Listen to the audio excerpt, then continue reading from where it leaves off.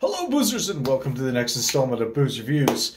I am I'm sitting here presently playing Car- Car- Car- Carcassonne with a bunch of buddies from the east, but I wanted to sit there and I wanted to actually uh, do a little review here because I said I kind of wanted to check this out. So, empty glass, homebrew yes, this this this I've had, so I, I'm going to be doing a review anyways. So what I've got here is from Beer Machine Brewing out of Nanoose Bay.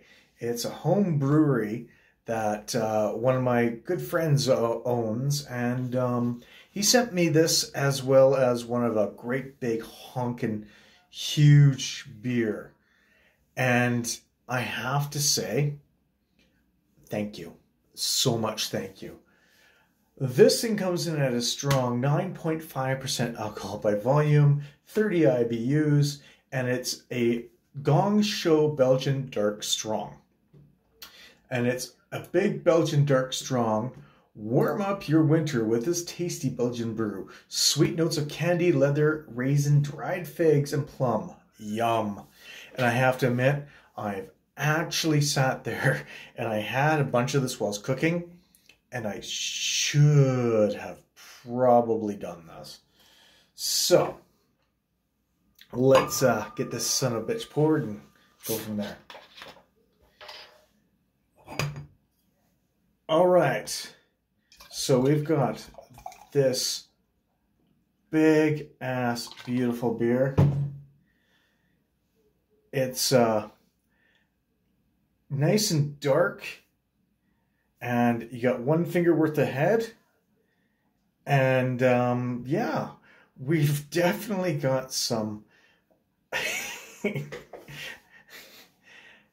and we've got something really nice looking at notes here. Like it's nice and dark. It is a dark Belgian. The noses that I'm getting off of here is absolutely amazing.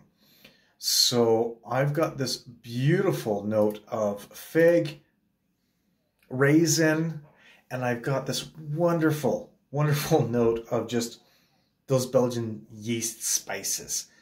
Something that I really, really, really enjoy. Like I love my Belgian beers, and this smells absolutely amazing. Now I know he told me a bunch of stuff that came with it, but I've got I'm recording on my phone, so I really can't do that. Anyways, so the smell, like I said, it's got a lot of fig, Belgian yeast, absolutely amazing stuff. The taste, let's get into it. Cheers, everybody. Mmm. Mm-hmm. Hmm. So you do have that fig, you do have that raisin, you do have that plum.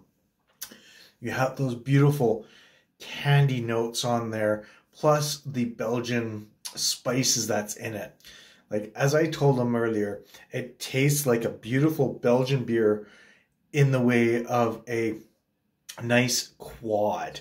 Now, I want to say it's a quad, but I know it's not actually a quad, but it really does taste like something that you could have as a quad.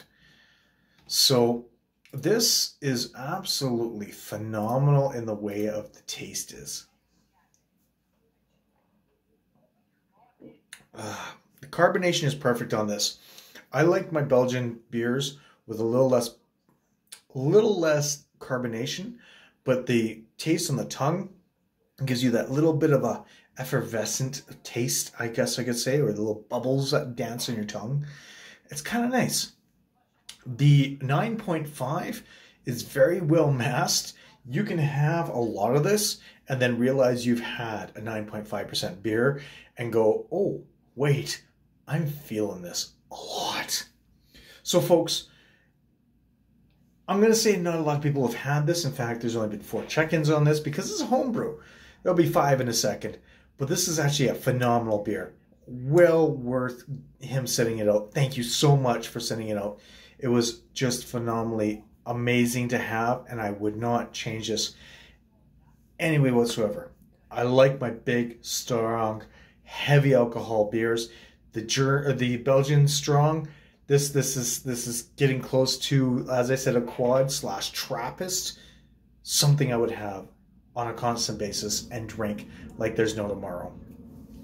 Till next time, folks. I am PK. Got to get back to the game. Got to bitch these guys up because they've been yapping in my ear saying that I've been doing this. So I will talk to you later. Thanks again for joining. Have you guys have yourselves a wonderful, wonderful night. Until next time, cheers.